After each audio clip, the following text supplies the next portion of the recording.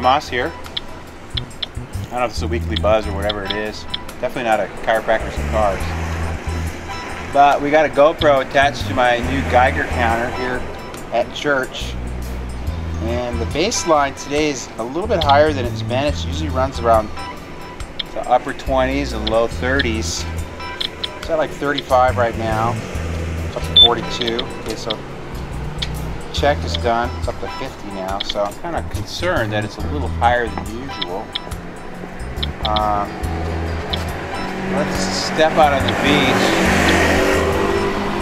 And again, this is the fourth time I've checked the beach. And the other times it hasn't gone up what I would consider super significantly compared to like the readings that we saw up in San Francisco, which were five times baseline. They were up in the 150s. And I've kind of doubled baseline, which is like, as you get close to the beach, the readings are going up a little bit. Actually, they're up in the 60s, which is double what typical baseline is for the area. Again, I'm not an expert on using a Geiger counter. If you got any comments or what the hell was that? Did you hear that? Like an earthquake? Sonic boom or something. We got that on video. You guys just pick up. That was gnarly, man. I don't know what it was. Did you guys hear that on the? They heard that on the. They probably heard it on this camera. Sounded like a bomb to me. Hope it's not a nuke. Yeah, again, I mean, it's not creasing much. In fact, it's going down a little bit, if anything. And today's a really good day to check because it's a super low tide day. Uh, but it's like when I checked the fish the other day, it was like so obvious that it was elevated. I mean, it was going over 100, and then I'd walk away from the fish and it'd go down to about 30, which is background. I go back over to the fish again, and go back up to 100. Okay, we're still at 46, 58.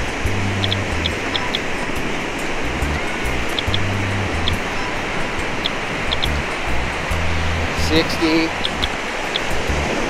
I mean, that's the highest we've been is at 60 the whole time.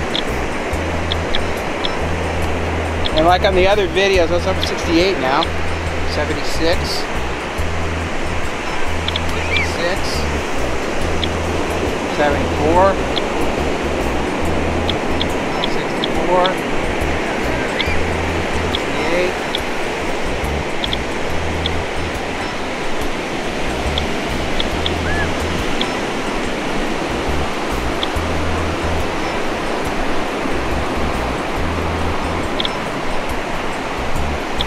50.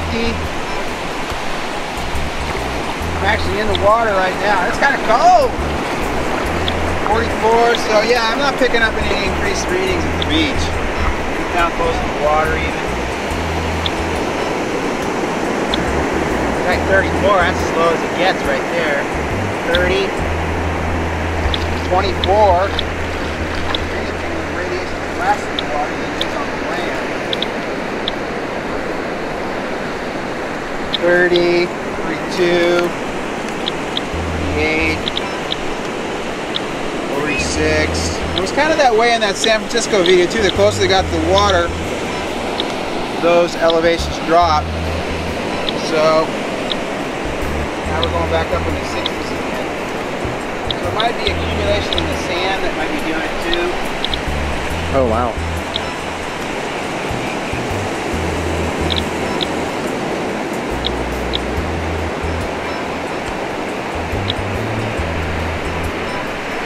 But again, I don't think there's anything to freak out about yet, in my opinion. But again, like I said, if you've got any uh, recommendations or tidbits or tips on how to more effectively measure this, and we're measuring in counts per minute. Uh, again, the readings in San Francisco are as high as 150 counts per minute compared to a background of 30, which is five times and at worst, we're probably just doubling background here and just staying between 30 and 60. So I don't really think it's a, really a huge threat here in Newport Beach, California.